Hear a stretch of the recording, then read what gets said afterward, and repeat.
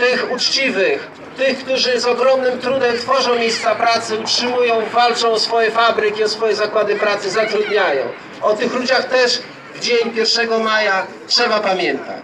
Żeby też 1 maja, pierwszy wszystkich problemów, że będziemy mogli w tym dniu mówić przez najbliższe lata o tych problemach, które polską pracę dotykają. Być tak, żeby, żeby, żeby wszystkie rosz, roszady na stanowiskach łączyły się z wielkimi odszkodowaniami, z wielkimi odprawami.